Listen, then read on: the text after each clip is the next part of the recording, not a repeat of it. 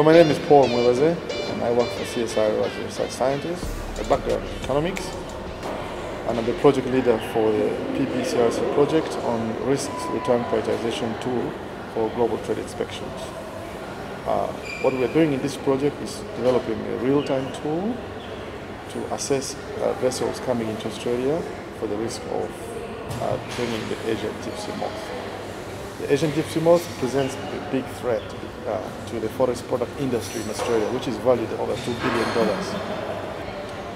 As part of, the, of, of this tool, we are also developing an economic model to help optimize inspection resources. So there's two tools here. There is the risk profiling tool, which will narrow down the list of vessels that, are, that carry the highest risk of bringing the AGM to Australia and the second tool is an economic tool which will inform the Department of Ag on how best to use inspection resources.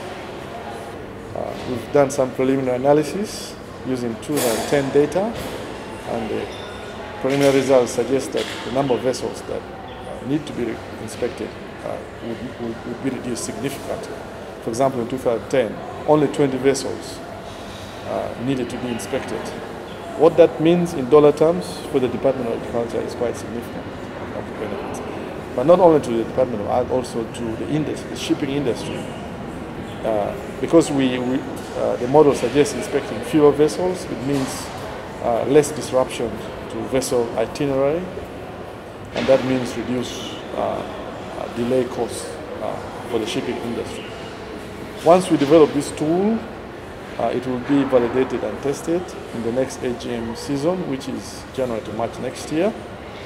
There is a potential to use it uh, for other purposes.